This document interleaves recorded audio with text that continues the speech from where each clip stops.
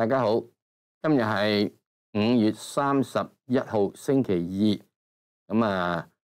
騙徒仲係冇收手嘅，所以繼續係提醒大家，